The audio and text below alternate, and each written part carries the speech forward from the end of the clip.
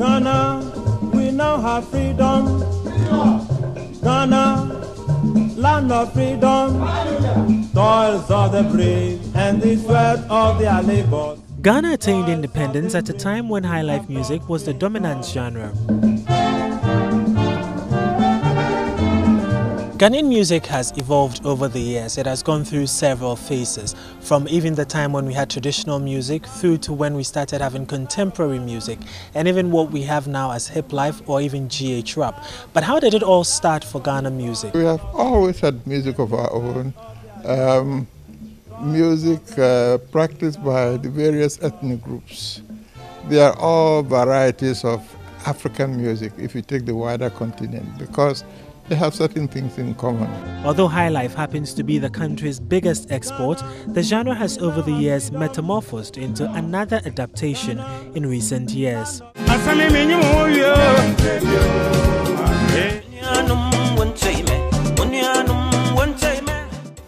The early high life is not the same as the, the this high life that succeeded it.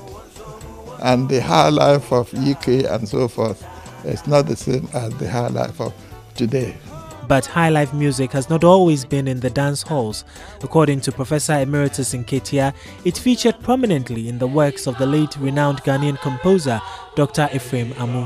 High life was already, you know, in the community. So Amu took it and he composed Mawani Mawani Mawani Sutra Uhushia Wanije Bromoso Nifani Penkum Babiara, da da da da da. It's high life too, not only not only the other one. Quite a few of, of his compositions use the high life style.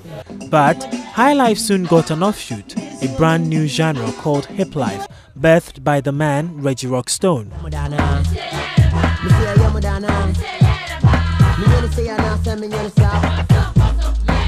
The fast paced music type is a blend of high life rhythms laced with rap verses.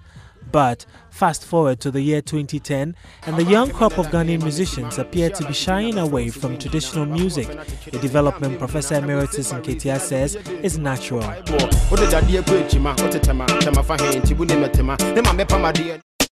the whole Ghana, the Ghana link up and down.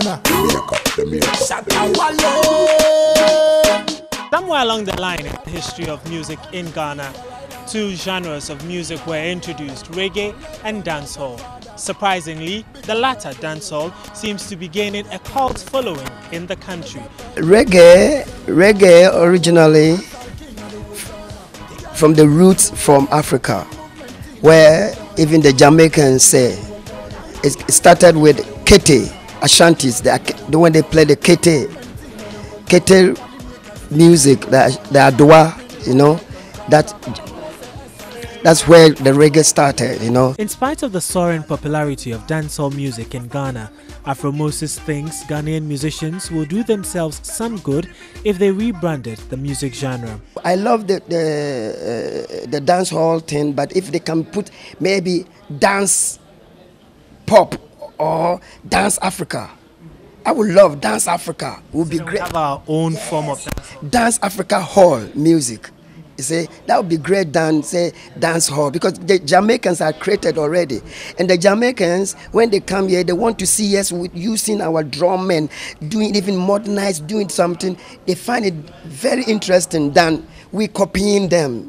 So, how would Ghanaian music sound like a decade or two from now? It would be difficult to say, to say exactly what it will be. We can only talk about trends because you know these young men who are doing rap and so forth will grow up, and as they grow up, you know, they'll begin to assume some of the habits of older people.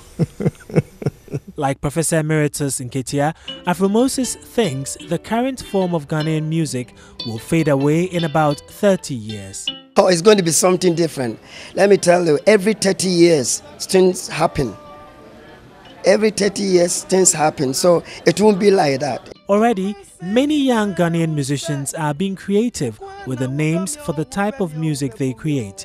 Do not be surprised if the sound also changes to something a little like this.